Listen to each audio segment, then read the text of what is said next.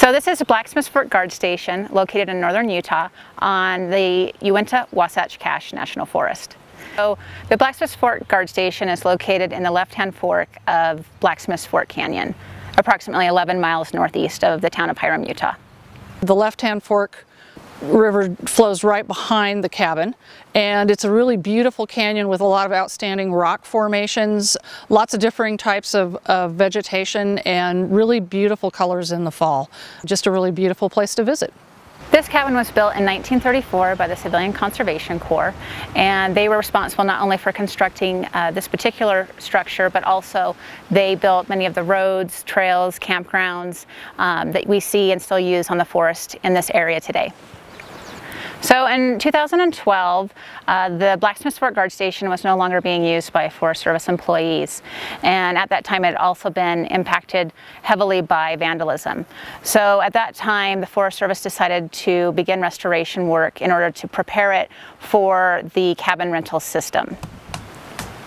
So the, the work was conducted both by the Forest Service and uh, volunteers who participated in the Passport in Time program. Uh, that's a Forest Service program that uh, people interested in historic preservation projects can um, look at what kind of projects are being made available and participate in those and work alongside Forest Service employees. Uh, that's what occurred here and over the course of three years and two Passport in Time projects we conducted much of the restoration work uh, to get this place up and running for the public.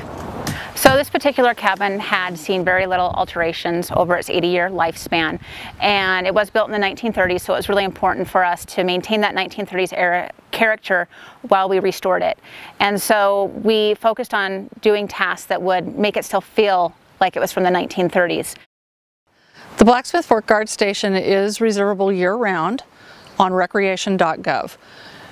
During the summer months you can drive to the cabin and in the winter when the roads are snow covered you will have to park at the gate and then you can bring your snowmobile or you can um, snowshoe or cross-country ski to the guard station.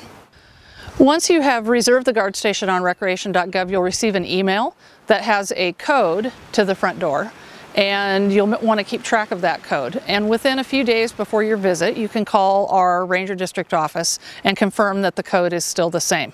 Here at, right at the guard station, some of the things you can do are just sit out on the front porch and enjoy the view, especially in the fall with the fall colors. And there's also um, left-hand fork flows right past the back of the cabin.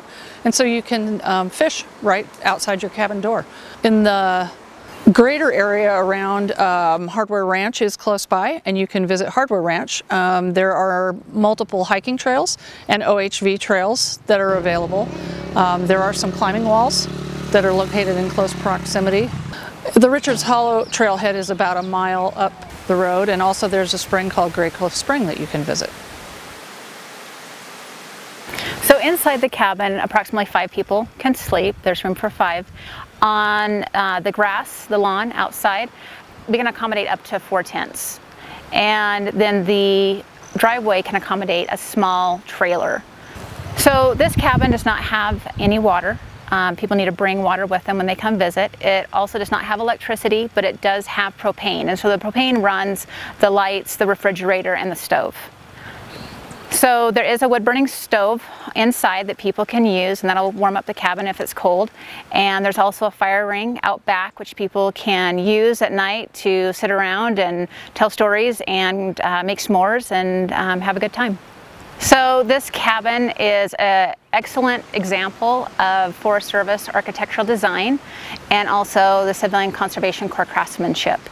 And it's uh, a really unique place and a beautiful spot on the Uinta Wasatch Cache National Forest. It is a unique experience for those who want to come and visit. It provides them kind of an opportunity to see how a Forest Service ranger and his family would have lived here um, in the 1930s.